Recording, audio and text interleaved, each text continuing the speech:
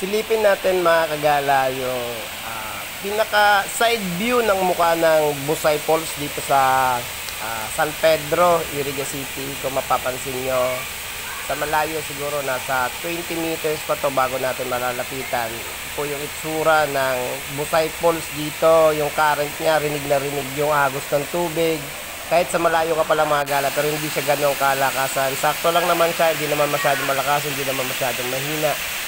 Sakto lang sa mga kagala. Ito yung nasa malapit na mga 10 meters na lang siguro to. Tapos siya na, falls, siya na yung falls. Busay Falls, tapos ito na yung pinakapaliguan. Kusog tayo ng konti. I-flex natin yung ah,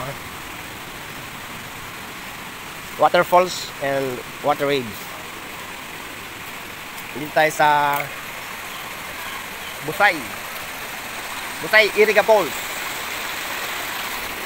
Katulad ng Plinex ko magagala sa mga unang videos ko, bali dalawang layered to kasi meron siya sa una, parang twin small falls siya, meron din dalawang umaagos na pero medyo mababa, malakas din yung current. Tapos ito na yung pinaka-pangalawa kasi layered din yung Busay Falls. Ito yung pinaka-pangalawa na falls niya na mas malakas kesa sa una mga gala. Pag pumunta kayo dito, pasyalan nyo para ma-explore nyo. Bali, dalawa dito. Bali, meron pa sa baba pero wala na siyang falls pero mahaba pa po to. Ito na yung pinaka-paliguan niya, yung pinaka parang full area ng falls.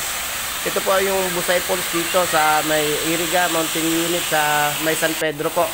Bisita po kayo dito, maganda, napaka-accessible. Tapos napaka-simple lang yung mother nature na makikita mo dito. Hindi siya masyadong mataas na falls, sakto lang siya. Hindi naman masyadong malakas yung current. Tapos maraming naliligo dito mga gala, maraming pumupunta. Yun lang po, Lineflex lang. Salamat sa panonood. Have a blessed day and ciao na. Ciao, ciao.